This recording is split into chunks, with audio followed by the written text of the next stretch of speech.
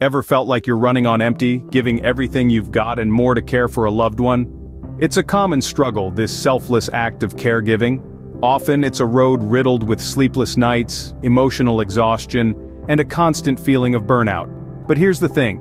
You can't pour from an empty cup. It's paramount to remember the importance of self-care, even amidst the chaos of caregiving. If you're nodding yes, know that you're not alone and it's time to focus on you. First on our list is something often overlooked. Self-care.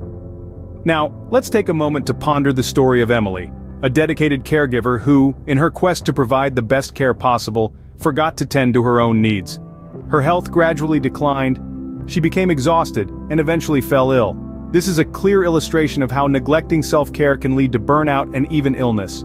To avoid walking in Emily's shoes, prioritize your well-being. Allocate time for relaxation and rejuvenation. This could be as simple as curling up with a good book, immersing yourself in a hobby you love, or just taking a leisurely walk outside. Never underestimate the power of these small acts of self-care. They replenish your energy, rejuvenate your mind, and ultimately, make you a better caregiver. You might be thinking, but I don't have time. Well, make time. Because at the end of the day, you can't pour from an empty cup. So, fill yours first. Our second tip is to seek support. Picture a man named John, an average guy with a big heart, devoting himself to caregiving. The weight of his responsibilities began to feel like a mountain on his shoulders, a mountain he thought he had to climb alone. Until one day he discovered a local support group for caregivers.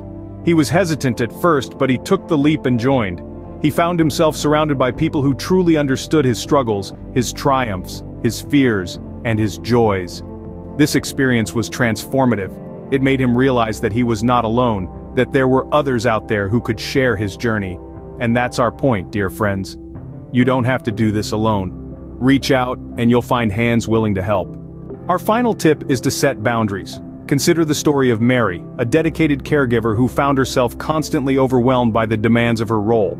She was always on call, always available, and it began to take a toll. Then, she learned to set boundaries, she learned to say no when necessary, to delegate tasks, to allow herself to take breaks.